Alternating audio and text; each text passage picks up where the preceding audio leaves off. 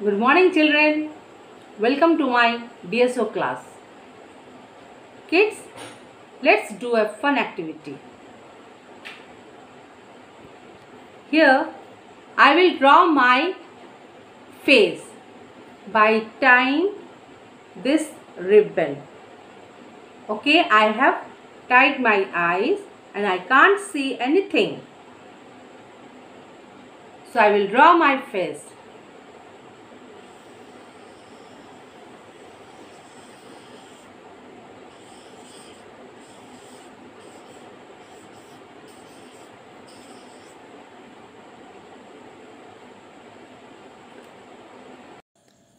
Look what I did. My face looks so funny, isn't it? Without our eyes, we can't do anything. So, children, as God gifted us with two eyes, let's know how to take care of them. Shantini ma'am will show us five exercises that you should practice so that your eyes are well. Let's begin. Move our eyes from right to left.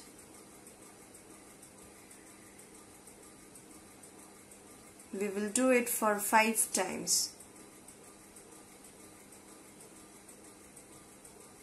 Relax. Let's move our eyes up and down. Repeat it for five times.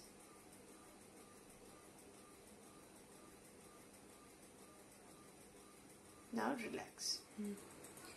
We will put our thumb in front of our eyes and we will keep our hand backward and forward.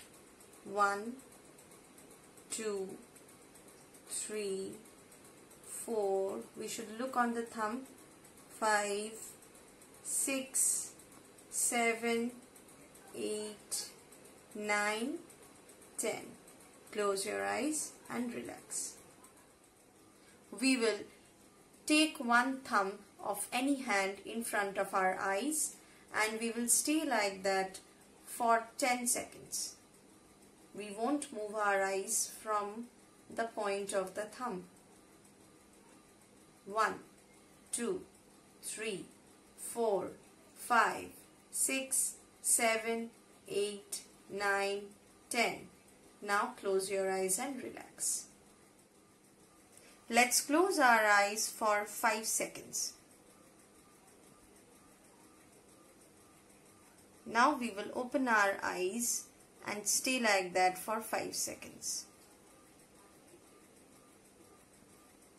We will repeat this for 5 times. Children, do you know when we do not take care of our eyes, what happens? Our eyes becomes red. We have trouble seeing at night or reading books. The objects become blurred so we cannot see them. At this we go to doctors and they give us spectacles. Do you know what is an eye doctor called? They are called ophthalmologist. O P H T H A L M O L O G I S T. Ophthalmologist. They are called ophthalmologist.